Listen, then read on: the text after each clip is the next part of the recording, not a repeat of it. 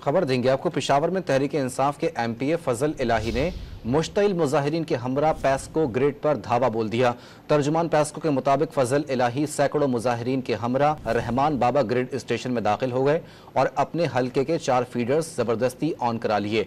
मजीद जानते हैं, don news के नुमाइंदे अब्दुल हकीम मोमन से, अब्दुल हकीम, क्या मामला है ये और कैसे बासानी दाखिल हो गए ग्रिड स्टेशन के अंदर?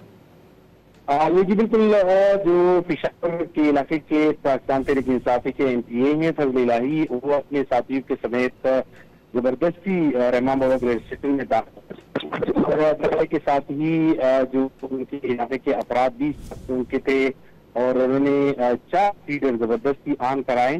तहम इस हवाले से जो हमारी बात हुई इलाही के साथ, उनका ये कहना था कि पेस्को की जानब से मुताद बार वादे किए गए कि लोडशेडिंग नहीं की जाएगी और जो लोडशेडिंग का दौरानिया बताया गया था उससे कई दिन से ज़्यादा लोडशेडिंग की जाती है जो इनके साथ मुतालहत थी और लिख के भी दिया था लेकिन इसके बावजूद भी अमल दरामद नहीं हो रहा।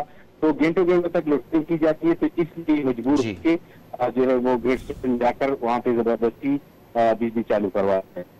बहुत शुक्रिया आपका।